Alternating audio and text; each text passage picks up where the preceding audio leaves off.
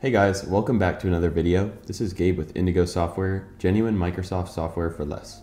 So in today's video, we're talking about whether or not you should upgrade to Windows 11 from Windows 10. Now there's a variety of reasons you may or may not want to upgrade, but before we get into that, if you're interested in your own copy of Windows 10, Windows 11, or other Microsoft software at a great price, check out Indigo Software. We'll have those links in the description box below. So without further ado, let's get started.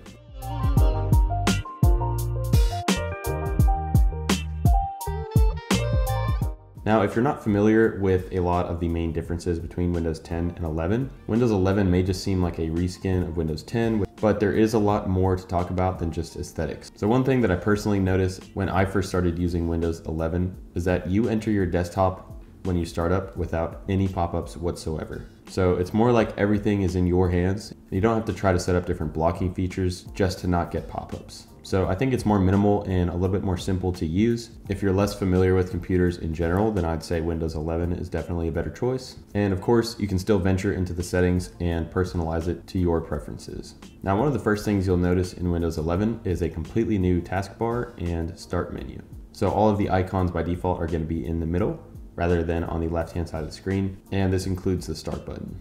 Start menu tiles are gone and the start menu by default is just gonna show pinned applications. If you wanna see all of your apps, there's a button for that right in that area. Again, this is kind of building on the point that it's a little more simple than the default look of Windows 10. Windows 11 will now manage background processes better than previous versions of Windows. So this is gonna help save on your computer resources such as your memory and CPU. So for example, on Windows 10, You've got things like Skype and OneDrive just running in the background by default. And on Windows 11 by default, there's fewer things running, so your computer is not going to be utilizing as many resources. If you have a computer with a small amount of RAM and CPU power, Windows 11 is almost certainly going to run better because of those fewer processes and the operating system is focused on performance. Now for another feature, you will see better gaming performance out of Windows 11. It supports things such as DirectX 12 and Direct Storage and these are going to give you benefits such as better visuals and frame rates on supported games. Direct storage will allow you to take the load off of your CPU and directly decompress the data inside of your GPU.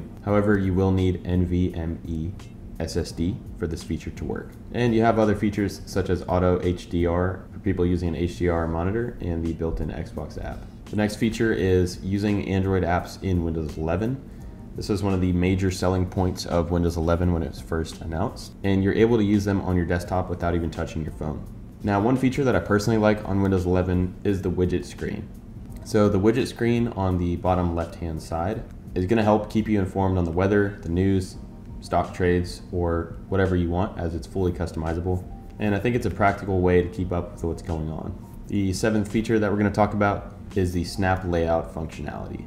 So snap layouts can make multitasking a breeze. You simply drag a window to the top of your screen and you have several different snap layouts that'll allow you to put the screen wherever you want without having to go through and mess with the edges. Number eight, the latest desktops and laptops support Windows 11 and are usually not going to downgrade to Windows 10. So it just makes sense to be on the latest operating system in this case. All right, so that's gonna do it for today's video. If you guys have any questions, drop those in the comment section below. In conclusion, it's really up to you and what computer you have, but these are just some things to keep in mind if you're considering the upgrade and why it might be worth it. Again, if you guys are interested in your own copy of Windows, check out those links in the description as you can save on your purchase. So thanks for watching and we'll see you guys in the next video.